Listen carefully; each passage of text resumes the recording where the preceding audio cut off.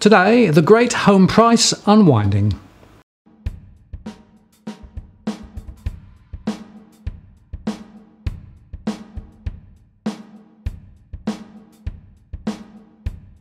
Hello again, I'm Martin North, the Principal Analyst at Digital Finance Analytics. Welcome to our latest post covering finance and property news with a distinctively Australian flavour.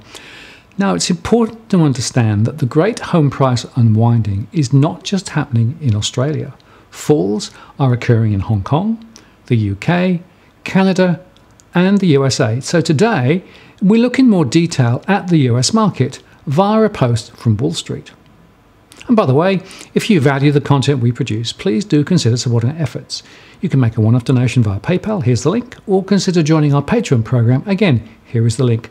We really appreciate your support, which helps us to continue to make great content. And the links are also in the comments below.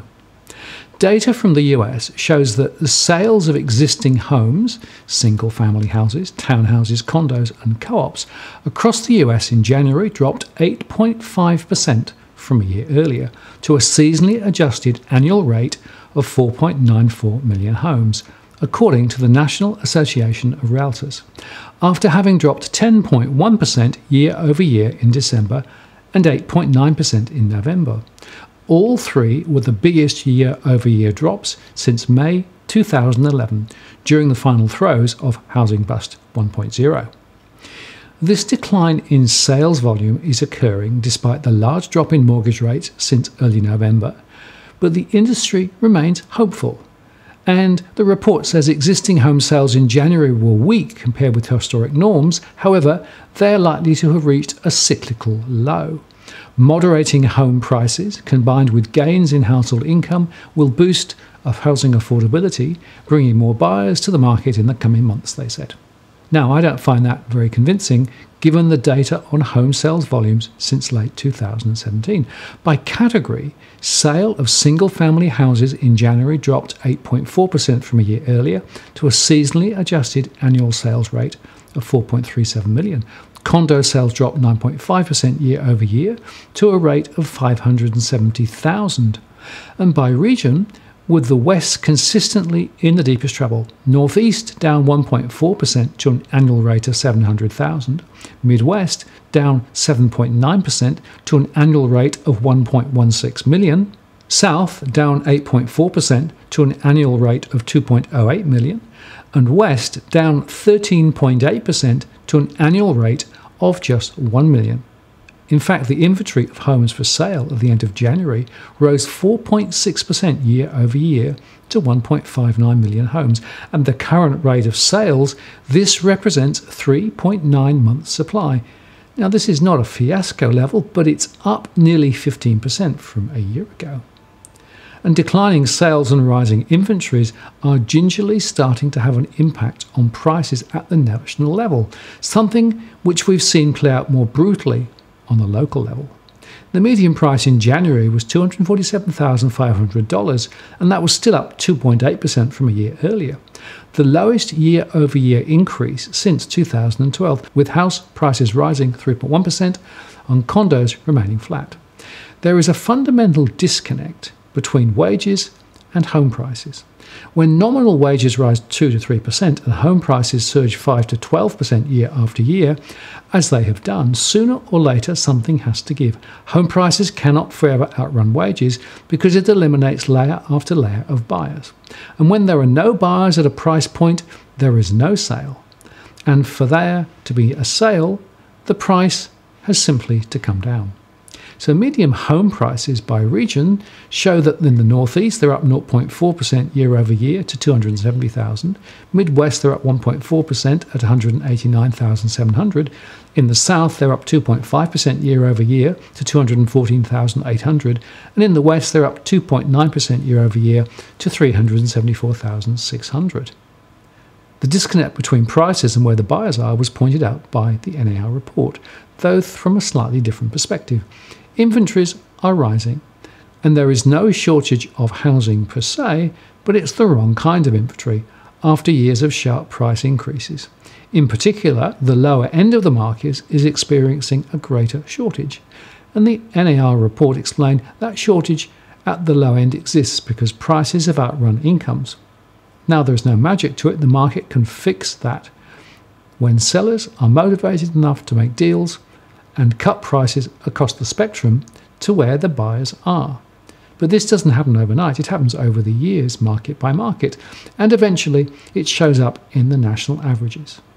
So there's a whole generation looking forward to the moment when they can afford to buy a home in these out of whack markets, though that's still a while off. Those are the buyers of the future, and eventually prices will have to meet them. There are a host of other economic benefits triggered by lower home prices, such as buyers having more money left over to spend on other things, which would give other parts of the economy a sorely needed boost. Gradually unwinding some of the home price inflation of recent years is not the end of the world. And so, to conclude, the market, if it's allowed to, can fix the affordability problem that exists in many cities in the US and beyond by finding price levels where first time buyers can afford to buy a home with the income they're making. Sellers are having to step down the aspirational ladder to make deals. And in some of these markets, price levels have a long way to go before they make sense, where a household with a median income on the local scale can afford a median home and there are now enough local housing markets that have turned south to where the impact is starting to creep into national averages. Read that back to Australia, and of course, we've had flat wages for several years now. In fact, income is in real terms lower than it was five years ago. And we've had massive rises in home prices up 70% in Sydney and Melbourne, and that has led to the pricing instability, which has translated in some cases now to price falls of up to 40% in some places.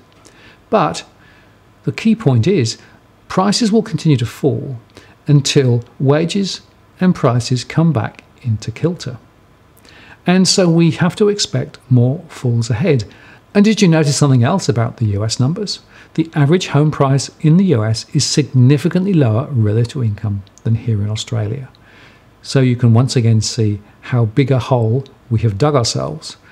And it's my prediction that it will take four to five years to bring prices back to a level to where the average household on the average income will be able to afford the average house. The runway just ran out, and the very minor uptick in auction clearance rates, which have been reported since the new year, are not signalling a turnaround in the market. In fact, if you look carefully, the absolute volumes are more than 50% lower than they were this time last year and that is the more significant yet underreported factor. So, the final point I want to leave you with is that the fall in home prices is much more to do with a fundamental deleveraging and the fact that housing affordability is off the scale for people on average incomes at the moment, both here and in other places around the world. And as lending standards are pulled back to more normal levels, there is only one direction that home prices are likely to go, and that is down and down again. If you liked what you saw here today, please like the post and add a comment or question. I read them all. And do share it via your social media channels. If you've not yet subscribed, please ring that subscribe bell to receive alerts on future posts. And if you have already subscribed, many thanks. I really appreciate your support. I'm Martin North from Digital Finance Analytics. Many thanks for watching, and I'll see you next time.